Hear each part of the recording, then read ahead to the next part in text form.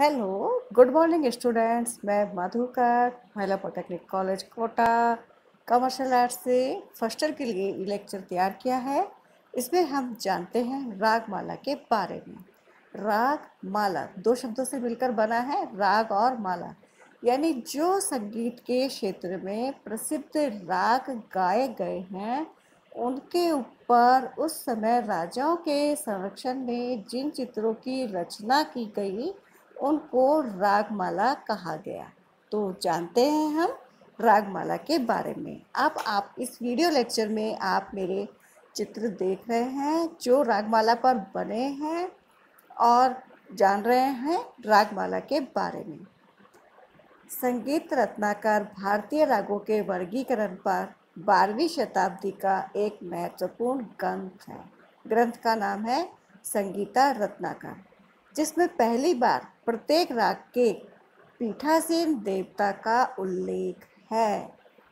चौदहवीं शताब्दी के बाद से उन्हें ध्यान, चिंतन के लिए संस्कृत में छंदों में वर्णित किया गया था।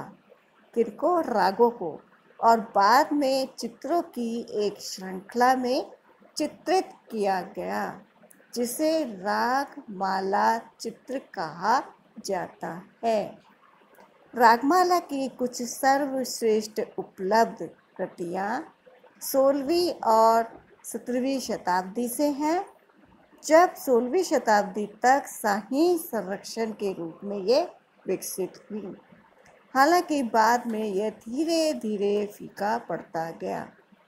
रागमाला चित्रों में रागमाला नामक विभिन्न भारतीय संगीत विद्याओं को दर्शाते हुए रागमाला या रागों की माला पर आधारित मध्य युगीन भारत के चित्रों की एक श्रृंखला है।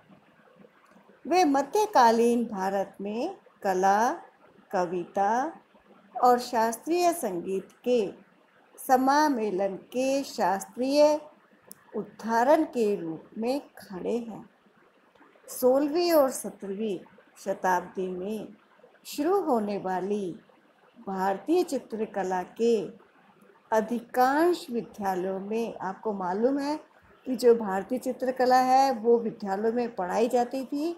वहीं पर रागमाला चित्रों का निर्माण हुआ और आज के हिसाब से उन रागमालाओं का नाम पड़ा पहाड़ी रागमाला, राजस्थान रागमाला, राजपूत रागमाला, दक्कन रागमाला और मुगल रागमाला।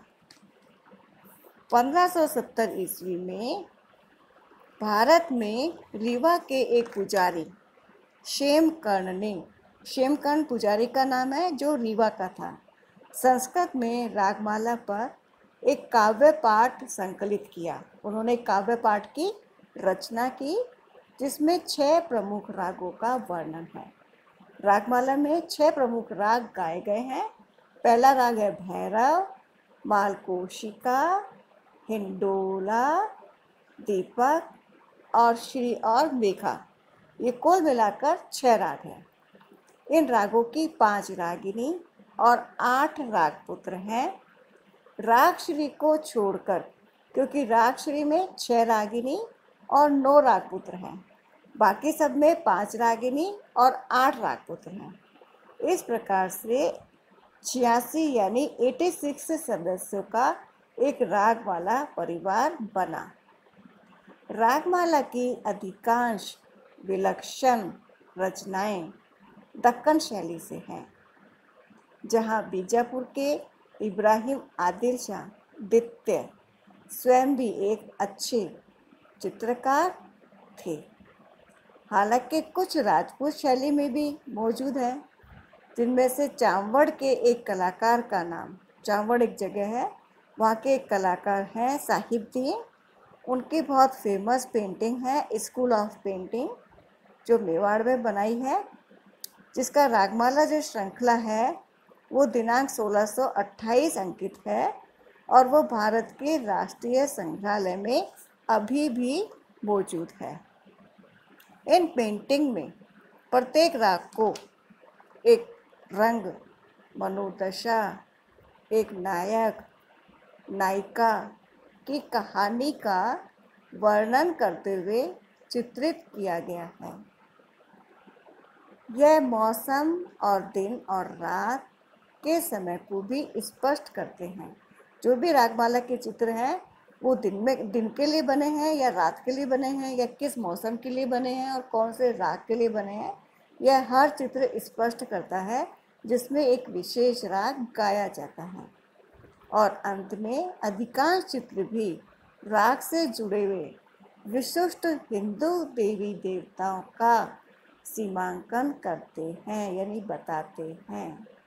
जैसे भैरव या भैरवी में शिव को बताया है और श्री राग में देवी को बताया है। चित्र न केवल रागों का वर्णन करते हैं, बल्कि उनकी जो पत्नियाँ हैं, यानी रागिनियाँ हैं, और उनके कई पुत्र हैं, जिन्हें राग पुत्र कहा गया है, का भी चित्रण करते हैं। किसमें रागमाला के चित्रों में और बेटियाँ राग पुत्री बताई गई है, उनका भी चित्रण किया गया है।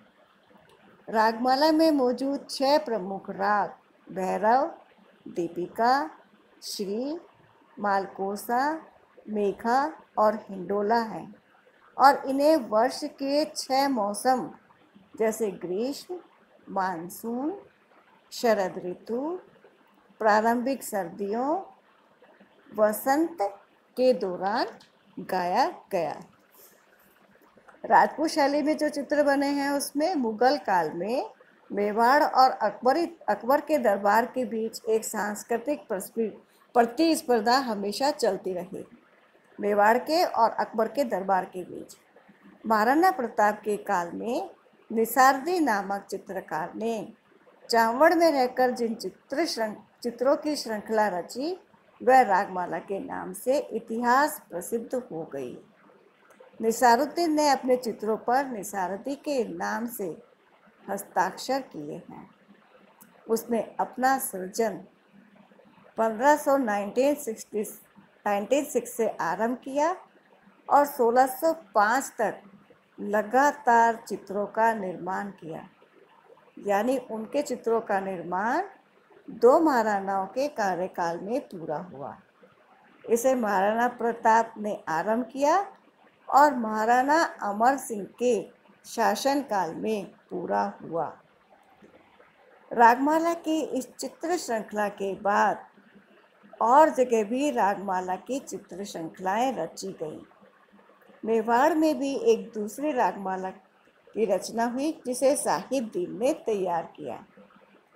यानी दो रागमालाएँ चली हैं, एक निसारदी की और एक साहबदीन की।